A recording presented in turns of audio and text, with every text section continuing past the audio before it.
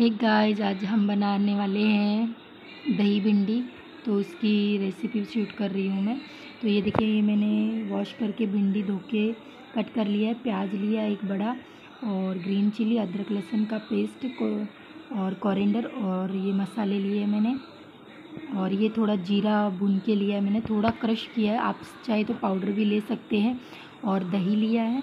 तो चलिए हम मिलाते हैं। दही में मैंने वो क्रश किए वाला भुनने वाला जीरा डाला, ग्रीन, रेड चिली डाला और गरम मसाला, धनिया और हल्दी हम इसमें नहीं डालेंगे। हल्दी हम जब तड़का दे देंगे तब डालेंगे और इसको मिक्स करके एक साइड रख लेंगे। तो चलिए, सबसे पहले हम गैस चालू करेंगे, एक पेन रखेंगे। और उसके बाद इसमें मैंने ऑयल डाला। आप सोच रहे होंगे, इतना ऑयल तो हमें भिंडी को फ्राई करना है। तो मैंने ज़्यादा ऑयल डाला एंड देन उसके बाद मैंने ये भिंडी को फ्राई कर लिया। फ्राई करने से भिंडी स्टिकी नहीं होता, चिपचिपी नहीं होती और टेस्टी भी लगती है। तो मैंने ये फ्राई कर लिया, किया और हमको सिक्स सेवन मिनट इसको धीमी आँच पे पकाना है। अच्छे से फ्राई कर लेना है। ये देखिए, पक गई थी मेरी भिंडी। अच्छे से एट्टी परसेंट कुक कर लेना है अपने को इसको। तो ये मैंने फ्राई कर लिया था। एंड देन उसके बाद जो ऑयल बच गया था, फ्राई होने के बाद उसी ऑयल में मैंने सब्ज़ी बना ली थी। तो ये देखिए मैंने ऑयल गर्म होते जीरा डाला और राई डाला मस्टर्ड सीड देन दो ग्रीन चिली डाला और उसके बाद इसमें मैंने अनियन डाला। तो मैं क्या कर रही थी गाइज़ एक हाथ से पकड़ के, एक हाथ से शूट कर रही थी। इसकी वजह से मुझे डिफ़िकल्ट हो रहा था, क्योंकि मेरे पास कोई ट्राईपोड वगैरह नहीं है स्टैंड फ़िलहाल।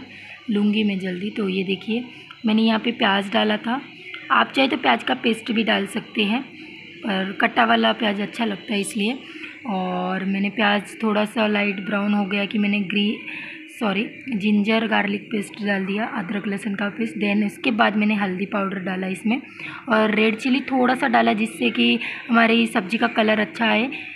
थोड़ा सा डालिए क्योंकि हमने पहले दही मसाले में, दही में रेड चिली डाल दिया है तो आप चाहे तो स्किप भी कर सकते हैं, नहीं तो डाल सकते हैं। इससे सब्ज़ी का कलर अच्छा आता है। तो ये देखिए, यहाँ पे मैंने पका लिया था। एंड देन उसके बाद मैंने जो दही में हमने मसाले भिगो के रखे थे, वो डाल दिया था दही। और दही आपको कम आँच पे करके ही डालना, नहीं तो फट सकता है। अगर आप पहली बार बना रहे हो या किसी को दही डालने में डिफ़िकल्ट होता है तो गैस बंद करके डाल दीजिए। और अच्छे से मिलाइए जिससे दही फटे ना। और उसके बाद मैंने ये देखिए, नमक डाल के और इसको फ्राई किया। और हमको मसाला तब तक फ्राई करना जब तक हमारा मसाला साइड से ऑयल ना छोड़ने लग जाए। तो ये देखिए मैं एक बार ढक के चेक कर ढक के रखी थी, उसके बाद चेक की। तो यहाँ पे मेरा मसाला पूरा अच्छे से पक गया था, देखिए। तो पूरा तेल छोड़ देने लग गया था। उसके बाद मैंने ये फ्राई किए वाली भिंडी इसमें डाल दी और अच्छे से मल, मिला के और उसके बाद मैंने इसको ढक के रख दिया था। और सीरियसली गाइस बहुत टेस्टी बन गई थी। क्योंकि मैं ना रोज़ वो भिंडी खा खा के परेशान हो गई। मेरे हस्बैंड को सुबह बोले, क्या बनाओ? तो बोले, भिंडी मत बनाना। बट बाद में उनको भी बहुत टेस्टी लगी। तो ये है हमारी भिंडी बनके तैयार। अगर पसंद आए तो लाइक शेयर कमेंट करिए।